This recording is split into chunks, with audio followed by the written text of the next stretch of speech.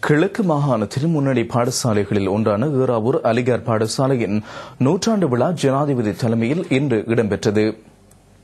இந்நிகழ்வினையொட்டி ஞாபகார்த்த முத்திரையொன்றும் வெளியிடப்பட்டது.